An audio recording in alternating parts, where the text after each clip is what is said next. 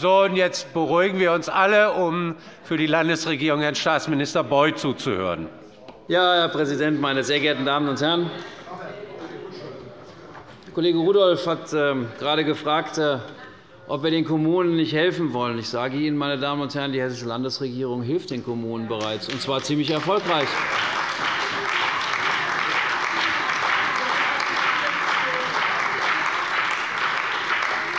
Ein Investitionsprogramm nach dem anderen, meine Damen und Herren. Wir haben dafür gemeinsam gesorgt, dass die kommunalen Haushalte – ich komme gleich darauf zurück – ausgeglichen sind in einem großen, großen Umfang. Und jetzt sorgen wir noch dafür, dass die Altdefizite und die Kassenkredite abgelöst werden. Meine Damen und Herren. Das ist, das ist wirklich ein Grund, sozusagen, dass wir dass wir uns ein Stück weit dafür feiern dürfen, dass wir den Kommunen ernsthaft geholfen haben, ihre kommunalen Haushalte in den Griff zu bekommen. Das ist eine großartige Leistung dieser Landesregierung. Die lassen wir uns von Ihnen auch nicht kleinreden.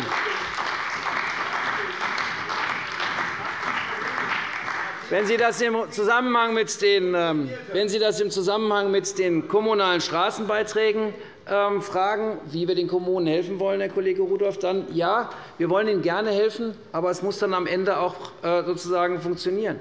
Und sind eigentlich die Kommunen im Fokus derjenigen, die sich im Moment über die Straßenbeiträge beklagen, oder sind es nicht die Bürgerinnen und Bürger? Wollen die nicht geholfen bekommen?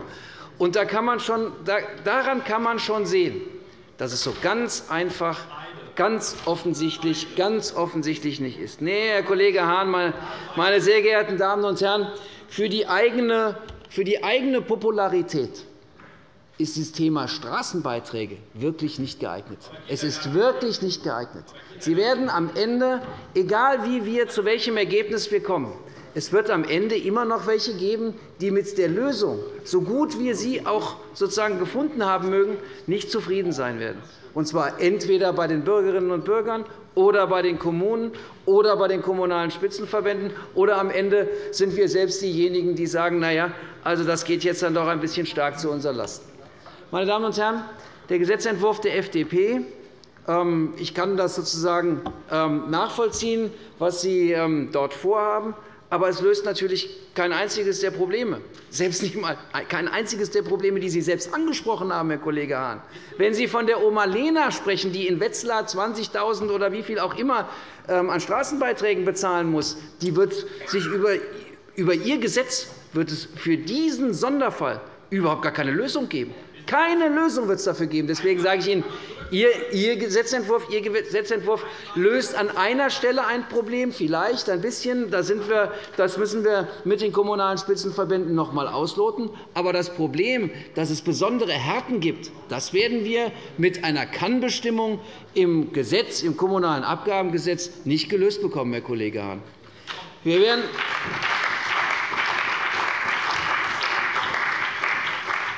Das, was DIE LINKE gemacht hat, ist natürlich relativ einfach, aber selbst das löst nicht alle Probleme. Aber selbst das löst nicht alle Probleme. Von der Finanzierung will ich jetzt gar nicht sprechen. Aber was ist denn mit, was ist denn mit denjenigen, die in den vergangenen Jahren Straßenbeiträge bezahlt haben? Was ist denn mit denen? Die werden am Ende als Unzufriedene dastehen, weil sie sich gekniffen fühlen, dass wir ähm, jetzt das Gesetz in irgendeiner Form ändern, sie aber noch in einem äh, großen Umfang Beiträge bezahlt haben. Ja, und dann lassen Sie mich einen letzten, dann lassen Sie mich einen letzten Punkt in äh, dem Zusammenhang noch sagen. Kollege Rudolph hat gesagt, das ist keine kommunale Freude mit den Straßenbeiträgen. Ja, das stimmt. Das ist keine kommunale Freude. Aber kommunale Selbstverantwortung beinhaltet eben auch das Wörtchen Verantwortung. Es ist eine große Verantwortung, die eben auch kommunale Mandatsträger tragen und die sie in vielen, vielen Fällen auch in der Vergangenheit getragen haben. Meine Damen und Herren, wir haben eine Größenordnung, um die es geht. Da will ich mich mit Ihnen, Herr Kollege Rudolph, gar nicht streiten. Ich glaube, diese 80 80 äh, Millionen €, die Sie da jetzt einmal angelegt haben, die, ich sage jetzt mal, die liegen so ungefähr in der Größenordnung. Aber es sind natürlich jährliche Beiträge, die, ähm, die ähm, am Ende dort im Feuer stehen. Und 80 Millionen € sind auch für das Land Hessen kein Pappenstiel. Vielleicht ist das in Bayern sozusagen ähm, ganz einfach lösbar. Aber 80 Millionen € bei uns sind eine Größenordnung, über die wir nicht so ohne weiteres hinweggehen können, selbst wenn wir, wüssten, wenn wir jetzt schon wüssten, wie wir sie korrekt einsetzen können.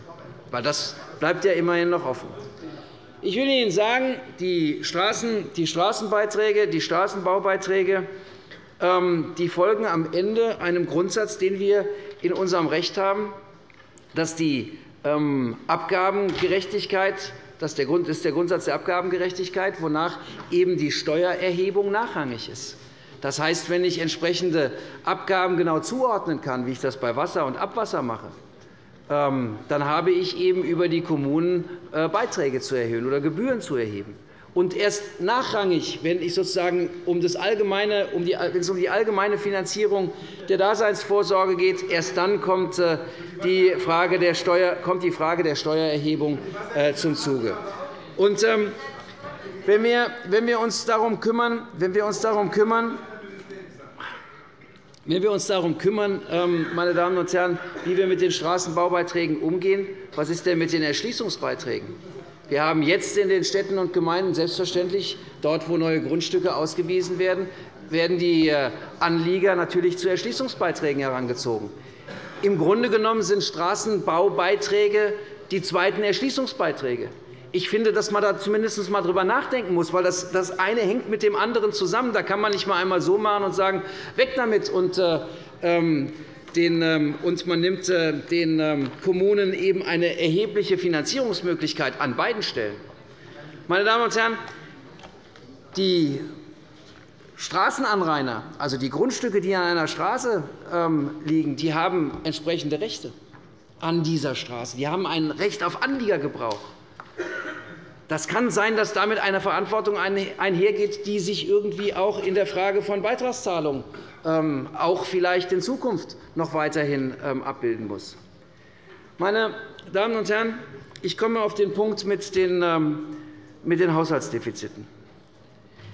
Meine Damen und Herren, Herr Kollege Schaus hat vorhin gesagt, der Erlass, den wir gemacht haben, der Finanzplanungserlass, der dafür gesorgt hat, dass wir die Kommunen darauf verpflichtet haben, ihre Haushalte auszugleichen und, wenn sie das nicht können, bestimmte Maßnahmen durchzuführen, ähm, der greift ähm, in die kommunale Selbstverwaltung nur so weit ein, wie es unserer Pflicht, unserer Aufsichtspflicht entspricht, dafür Sorge zu tragen, dass die Kommunen sich an Recht und Gesetz halten. Ähm, das haben wir in den vergangenen Jahren gemacht, nicht immer nur zur Freude der Kommunen, das weiß ich, nicht immer nur zur Freude von kommunalen Parlamentariern.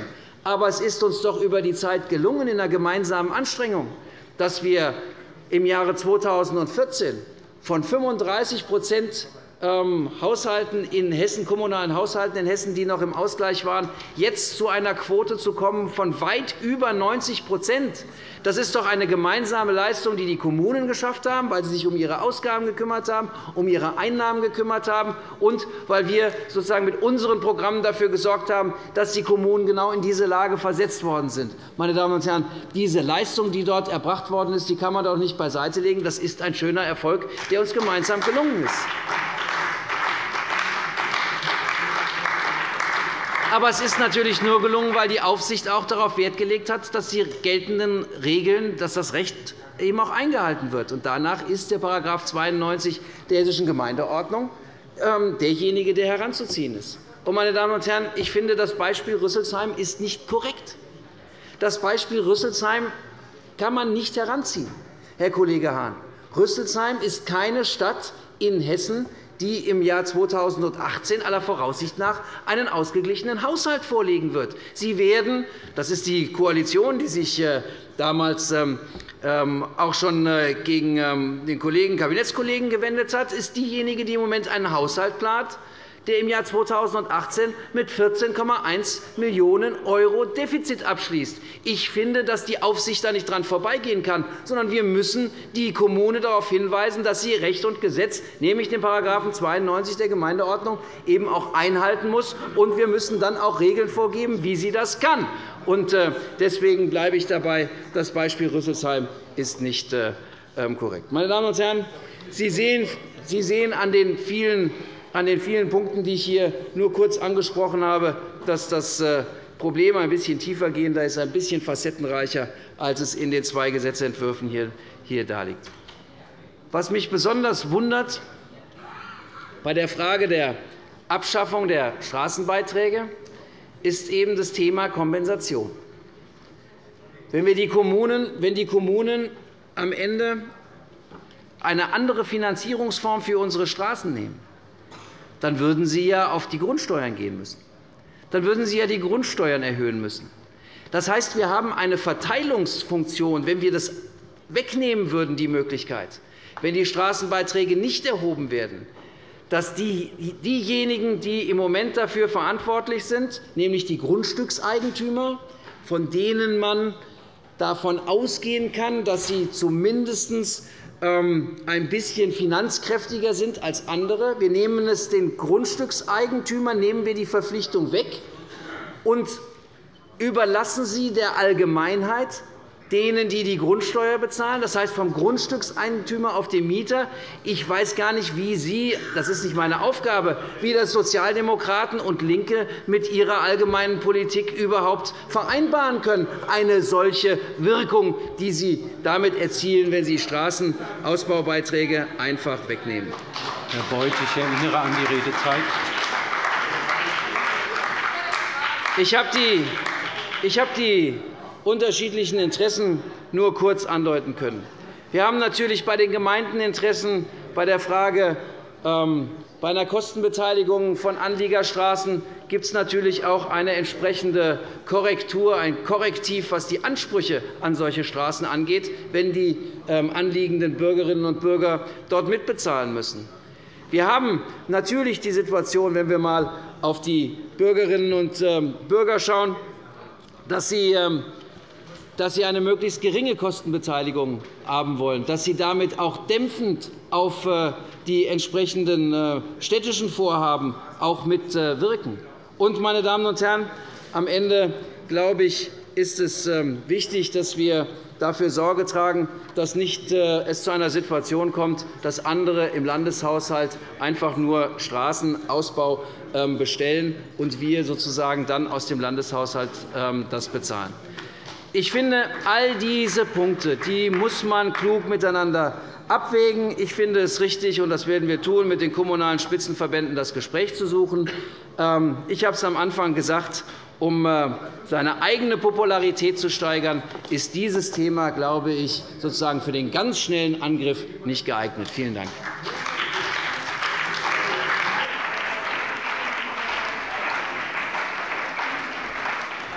Danke, Herr Staatsminister. Für die SPD-Fraktion hat sich Herr Rudolph zu Wort gemeldet.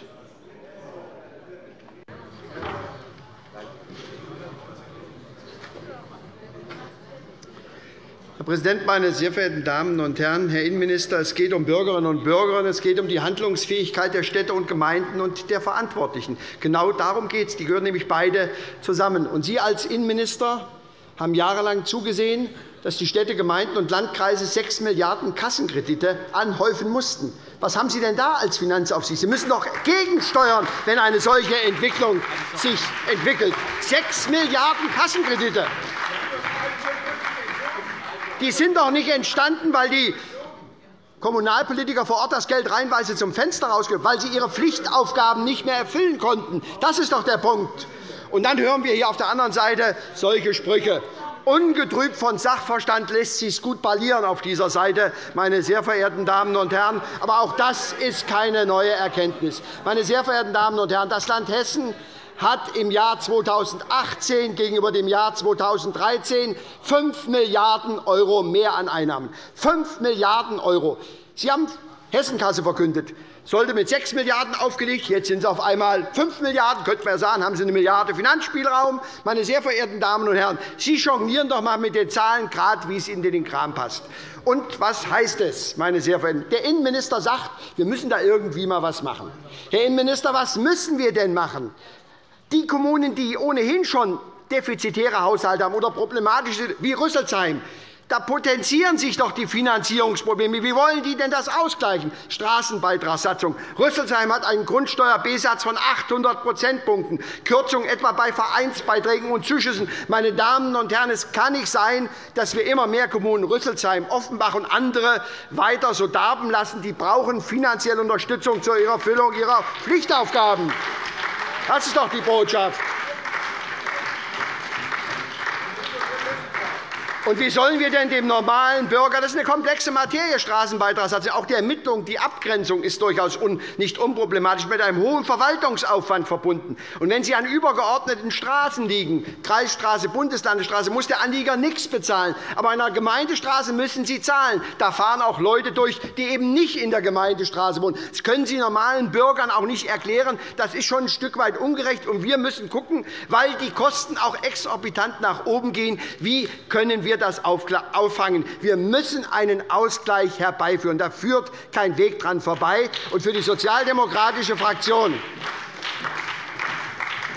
ist glasklar, das gibt natürlich eine Verantwortung des Landes, weil nach der Verfassung des Landes ist das Land zuständig für die Finanzen der Städte und Gemeinden. Und Kommunen haben doch selber ein Interesse, dass sie das auch mitsteuern können. Aber ohne Ausweitung des Finanzrahmens wird das nicht funktionieren. Und jetzt nehmen wir den Ministerpräsidenten beim Wort. Irgendeine Lösung werden wir finden. ist ein bisschen unkonkret. Es gibt zwei Gesetzentwürfe. Man kann ja Änderungsanträge zu Gesetzentwürfen stellen. Aber sie gehen beide in die richtige Richtung. Meine Damen und Herren, wir wollen keine Zwangsbeiträge bei Straßensanierungen. Das ist die Hauptbotschaft. Das ist die Hauptbotschaft. Und jetzt könnte ich Ihnen auch vor Ort viele CDU-Stadtverordnete nennen, die das genauso sehen. Und deren Sachverstand endet doch nicht an der Grenze von Rüsselsheim, sondern das Problem ist, dass dieser Sachverstand in Wiesbaden bei der CDU-Fraktion nicht ankommt. Das ist doch der Unterschied. Und deswegen, meine sehr verehrten Damen und Herren, das ist natürlich ehrlich. Na ja, wissen Sie, wissen Sie, wenn Sie, Sie sind ja selbst kommunalpolitisch tätig, Herr Kollege Müller. Und wenn ehrenamtlich Tätige eine Zwangsanweisung bekommen der Kommunalaufsicht, in aller Regel, in der Regel bei Kommunen, die defizitär sind, über das Regierungspräsidium. Wissen Sie, was sollen denn Feierabendpolitiker machen? Die haben doch gar keine Alternative. Und ich finde, mit Ihrer Art von Politik macht man auch Ehrenamt auf kommunaler Ebene kaputt. Und deswegen, und deswegen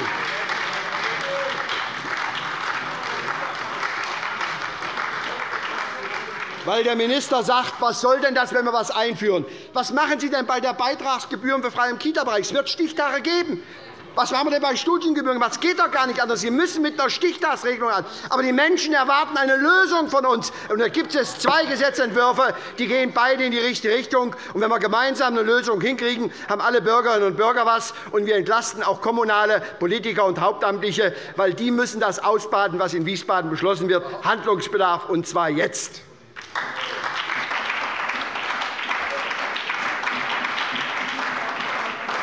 Danke, Herr Rudolph.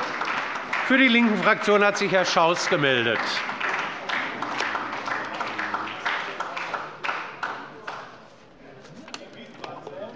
Meine sehr geehrten Damen und Herren, wir führen eine interessante Diskussion. Ich finde auch, wir führen eine wichtige Diskussion, ähm, die überfällig ist eigentlich.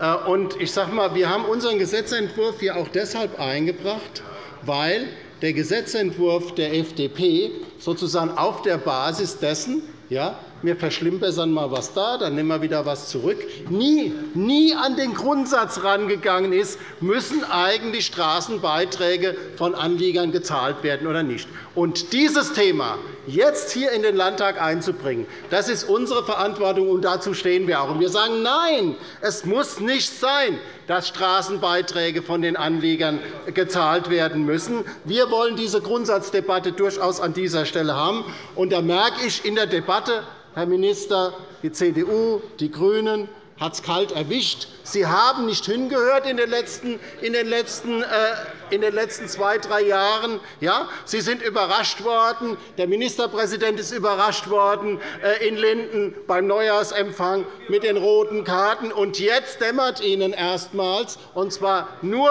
aufgrund der Debatte und der vorliegenden Gesetzentwürfe, äh, dass Sie hier ins Hintertreffen geraten. So, insofern wir stellen diese Grundsatzfrage, ja, so wie sie auch in Bayern diskutiert wird.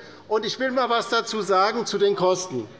Also, zunächst wird uns unterstellt, dass wir für eine Grundsteuererhöhung seien. Mit keinem Wort, meine Damen und Herren, habe ich gesagt, dass wir für eine Grundsteuererhöhung sind. In der Tat, da würde ich Ihnen zustimmen. Das wäre ja, das wäre ja letztendlich sozusagen eine Verlagerung äh, von den Hauseigentümern auf die Mieter, weil die bei der Grundsteuer das Land soll es bezahlen, Herr Boddenberg. Das Land, jawohl, genau. So wie, es, so wie es in Hamburg, so wie es in Berlin, so wie es in Baden-Württemberg und in Bayern demnächst auch gemacht wird. Warum nicht auch in Hessen? Warum nicht auch in Hessen? So. Und über die Höhe, über die Höhe dieser Beiträge über die Höhe dieser Beiträge kann niemand derzeit eine konkrete Summe nennen. Da sind Zahlen im Raum. Ich sage Ihnen einmal, also in Berlin, CDU-Flugblatt, steht drin, wurden 620.000 € zurückgezahlt. 620.000 €, keine Riesensumme. In Hamburg, in Hamburg geht aus der Presseerklärung hervor, die haben ja Ende November 2016 äh, das abgeschafft, übrigens mit den Stimmen aller Fraktionen in Hamburg, aller ja, Fraktion ist es abgeschafft worden, dass Sie gesagt haben, wir haben im Durchschnitt ja nur 184.000 € eingenommen. In Bayern diskutiert man über sech in Bayern ja, es sind zwei Stadtstaaten, das ist sicherlich anders. Aber in Bayern, Herr Boddenberg, hören Sie doch einfach einmal zu und brüllen Sie dauernd dazwischen. In Bayern diskutiert man über 60 Millionen € in ganz Bayern, die das ausmacht. Also, ich weiß nicht, wo die 80 Millionen € herkommen sollen. Ähm, äh, ich weiß es nicht. Ich kann es auch nicht widerlegen. Sage ich, mal. ich gehe davon aus, wenn die Bayern das richtig gerechnet haben, dann reden wir um eine wesentlich geringere Summe, um die es hier in Hessen tatsächlich geht. Also, ich sage mal, Pi mal Daumen orientiert an Bayern, vielleicht 25, vielleicht 30 Millionen € im Jahr in Hessen. Und das kann das Land schultern, selbstverständlich. Und das soll das Land schultern über den kommunalen Finanzausgleich. Das ist ein Ansatz. Ich kann mir auch Programme vorstellen, meine Damen und Herren, in denen Kommunen im Rahmen ihrer Selbstverwaltung entsprechende, entsprechende Grundsanierungen anmelden und die dann bezuschusst werden. Entsprechend. Warum denn nicht? Das hebelt weder die kommunale Selbstverwaltung aus, im Gegenteil, sondern das führt nur dazu, dass auch tatsächlich Straßen grundsätzlich erneuert werden. Wir haben hier ein Problem, und das wissen Sie alle miteinander. Ja? Dann gucken Sie sich einmal die Straßen an in den einzelnen Orten. Gucken Sie sich einmal die Straßen an, ja, Herr Reif. Ja? So, also, welche Straßen auch immer das sind, so, was Landesstraße, was örtliche Straße ist, kann ich Ihnen im Übrigen gar nicht sagen. Das wissen die Bürger selber auch nicht. Gehen Sie einmal nach Münchholzhausen, Wetzlar-Münchholzhausen. Die, die die Straße, die Straße wo, es Beitragssatzungs, wo es Beitragserhebung gibt, ist eine Durchgangsstraße. So, die wird bestenfalls von 5% von den Anwohnern genutzt und von 95% nicht, ja, dann können Sie doch niemand erklären, wieso die sozusagen 25 dann zur Sanierung beitragen sollen. So. Und solche Ungereimtheiten gibt es noch und nöcher. Noch und nöcher, sage ich Ihnen. Es wird Zeit, Kommen Sie bitte an, zum Schluss, Herr Schaus. Es wird Zeit, dass wir an diese grundsätzliche Frage herangehen. Und ich finde, in Eschborn haben die Bürgerinnen und Bürger genauso das Recht, dass ihre Straßen saniert werden, wie in Rüsselsheim. Und das kann nur das Land sicherstellen. Danke, Herr Schaus. Für die FDP-Fraktion hat sich nochmals Herr Hahn gemeldet. Ende der kommunalen Selbstverwaltung wurde gerade ausgerufen.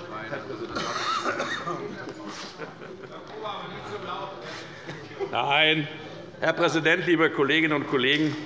Ich kann mich auch, das hat man ja schon im ersten Redebeitrag gemerkt, bei dem Thema nicht wirklich so emotionalisieren, wie das gerade andere Kollegen getan haben, sondern ich habe das Gefühl, und in diesem Punkt bin ich ja sogar mit dem Innenminister Peter Beuth einer Meinung, man muss an das Thema herangehen und muss es seriös bearbeiten. Meine sehr verehrten Damen und Herren, die erste Gretchenfrage hat der VGH entschieden. Die Gemeinde Schlitz hat vorgelegt die Frage Stadt Schlitz, darf ich das zurücknehmen? Die Stadt Schlitz, bei der Herr Bielefeld, dem wir gerade gedacht haben, äh, in den 60er Jahren des letzten Jahrhunderts Bürgermeister gewesen ist. Die Stadt Schlitz hat die Frage dem VGH vorgelegt, darf das Land Hessen eine Straßenbeitragssatzungspflicht einführen, ja oder nein? Der VGH hat eindeutig geantwortet, das Land Hessen darf. also die Diskussion zu führen, wie auch hier manche sie versucht haben. Nein, es hat mit Gesetzesänderungen nichts zu tun, sondern es hat Ach, Herr Staus, ich habe keine Lust mehr, um 18.37 Uhr im kleinen Semester äh, Staatsrecht mich mit Ihnen äh, zu unterhalten. Die nächste Frage ist, die nächste Frage ist wie gehe ich jetzt damit um? Und da will ich erst einmal sagen, Punkt 2, lieber Herr Innenminister, Sie können noch so häufig mir vorwerfen, dass der Gesetzentwurf nichts bringen würde. Es ist schlicht falsch. Das Beispiel von den 20.000, 30.000 € kann ja nur eine Einmalzahlung sein. Bei Wiederkehrenden geht das nicht, rein logisch nicht. So, und nach dem Gesetz, das ich mitbestimmt habe, kann man Einmalzahlungen wieder zurückzahlen. Also, ich könnte theoretisch als Kommune das Problem lösen, indem ich die 20.000 nehmen wir jetzt einmal an Oma Lehner wieder zurückzahle. Diese Auskunft von Ihnen, lieber Herr Innenminister, war leider, ich sage es jetzt höflich und diplomatisch, nicht richtig. Dritte Bemerkung. Tun Sie doch bitte nicht so von den Regierungsfraktionen und auch von der Landesregierung, als wenn der Gesetzentwurf, den meine Fraktion vorgelegt hat, unseriös sei. Ich höre da immer so, das muss man mal seriös erarbeiten. Gerade auch Frau Goldbach hat das so in einer Vehemenz hier vorgetragen. Was unterstellen Sie uns eigentlich? Und was unterstellen Sie eigentlich Ihren Parteifreunden und den Parteifreunden der Union und meinen Parteifreunden Schleswig-Holstein? Sind das alles Dummbolzen? Müssen erst Sie kommen, um eine seriöse Arbeit zu organisieren? Ich finde den Stil einfach nicht korrekt. Ich finde den Stil nicht korrekt, wie man miteinander umgeht. Sonst man so tut, also ihr habt da mal was. Nein. Aber wir nehmen das Angebot ja gerne an. Und das ist meine vierte Bemerkung. Wir nehmen das Angebot ja gerne an. Was der Innenminister und was die beiden Sprecher, Herr Bauer und Frau Goldbach, für die Regierungsfraktion gesagt haben, dann diskutieren wir es. Dann diskutieren wir es, und zwar ohne diese Vorwürfe, es gibt Blöde und Halbblöde, sondern einfach einmal ganz seriös, dann diskutieren wir doch dieses Thema. Und da werden Sie merken, dass Sie Lösungsvorschläge brauchen. Und ich wette hier eine einen hohen Einsatz, ich sage immer im Spaß, eine schuldenfreie Immobilie im Rhein-Main-Gebiet. Sie werden etwas tun. Sie werden nicht den Gesetzentwurf der FDP eins zu eins zustimmen. Das geht ja aus Ihrer Philosophie heraus nicht, obwohl das in Schleswig-Holstein ja gemeinsam gemacht wird.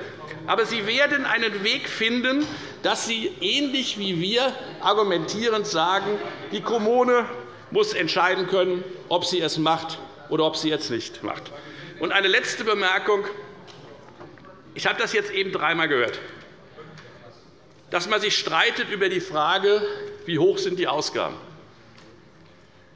Liebe Kolleginnen und Kollegen, ich habe es vorhin versucht, diplomatisch zu ummanteln. Ich kann es noch ein bisschen brutaler sagen. Wer von Ihnen hat denn in den letzten Wochen und Monaten nicht mit einem oder einem anderen Bürgermeister gesprochen, egal welcher Hautfarbe und insbesondere egal welcher Parteibuchfarbe? Meine sehr verehrten Damen und Herren, die sagen Ihnen doch alle, die sagen Ihnen doch alle, wir machen derzeit fast keine Grundsanierung, weil wir Schiss davor haben, die Abrechnung an den Bürgerinnen und Bürgern vorzulegen. Das nennt man Investitionshemmnis. Das nennt man Investitionshemmnis. Genau aus diesem Grunde heraus, weil wir dachten, das kann man so lösen, haben meine Fraktion und auch ich vor fünf oder sechs Jahren dem Gesetzentwurf zugestimmt. Nur der Zug ist abgefahren. Wer Grundsanierungen haben will, der muss den Kommunen die Möglichkeit geben, es auch anders zu finanzieren. Und da gibt es Kommunen, die können das selber, und da gibt es Kommunen, die können das nicht selber. Jetzt haben Sie ja selbst das ein oder andere Finanzierungsprogramm vorgelegt. Herrgott noch einmal, wieso kann man denn da dann nicht auch noch dazu nehmen, die grundhafte Sanierung von Straßen? Herr Hahn, kommen Sie bitte zum Schluss. Ja, ich komme, Herr Präsident, zum Schluss. Und wir werden morgen darüber diskutieren. Deshalb rufe ich das ja schon mit einer großen Freude immer wieder rein. Hessenkasse. Schauen Sie sich einmal Ihre eigenen Folien, die von Thomas Schäfer insbesondere an, von was für Beträgen man da ausgegangen ist. Und in der Stellungnahme des Städtetages muss ich mal aufpassen, ist von einer Überfinanzierung von 1,35 Milliarden € derzeit die Rede. Meine sehr verehrten Damen und Herren, da können wir sogar noch mehr als 70 Millionen € in die Grundsanierung von Kommunalstraßen hereinfinanzieren. Vielen herzlichen Dank für die Debatte die heute und für die Debatten im Ausschuss. Danke, Herr Hahn. Für die CDU-Fraktion hat sich Herr Bauer nochmals gemeldet.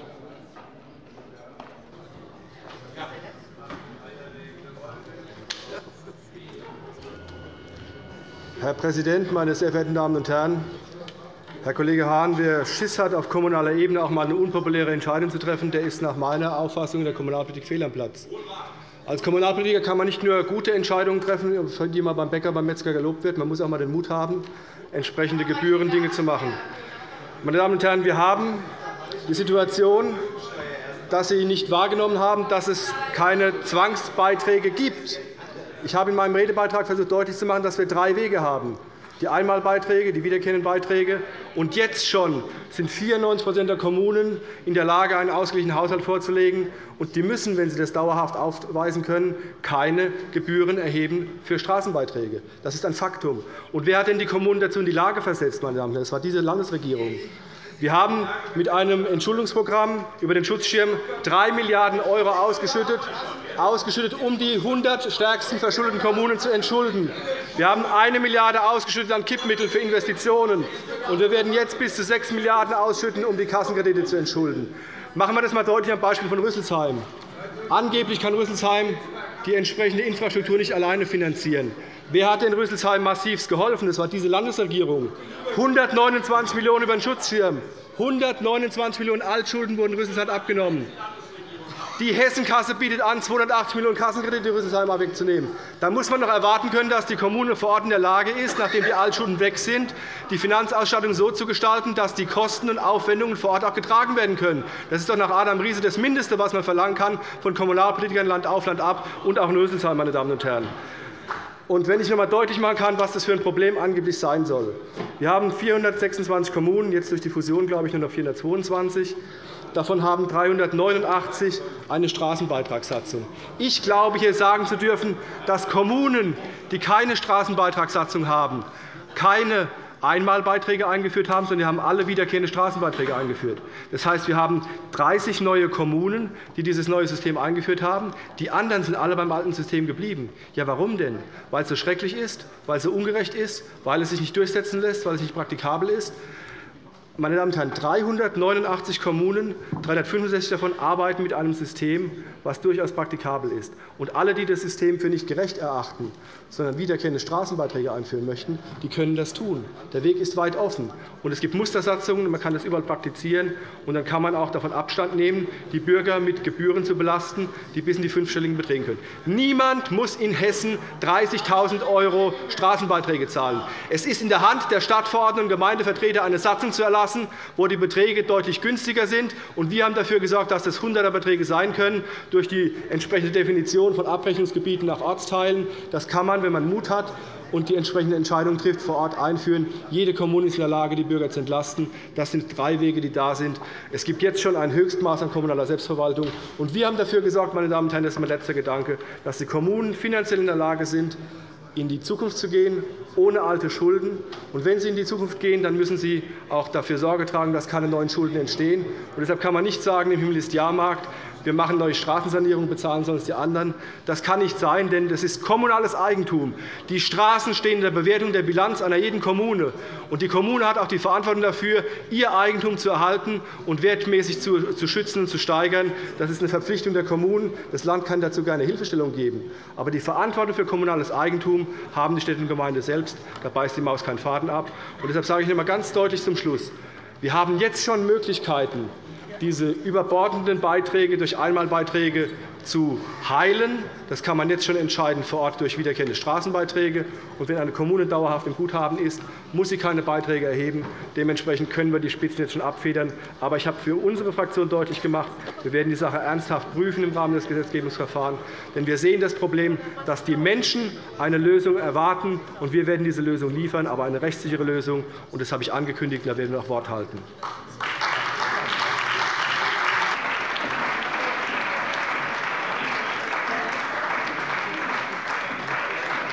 Danke, Herr Bauer. Wir sind am Ende der ersten Lesung dieser beiden Gesetzentwürfe angelangt und überweisen sie beide zur Vorbereitung der zweiten Lesung in den Innenausschuss und mitberatend in den Haushaltsausschuss. Ich sehe keinen Widerspruch. Dann machen wir das so. Meine Damen und Herren, wir sind am Ende des heutigen Beratungstages. So wir uns nicht gleich im Erdgeschoss beim Parlamentarischen Abend des Hessischen Rundfunks sehen, sehen wir uns morgen früh um 9 Uhr in gewohnter Frische. Schönen Abend. Schönen Abend.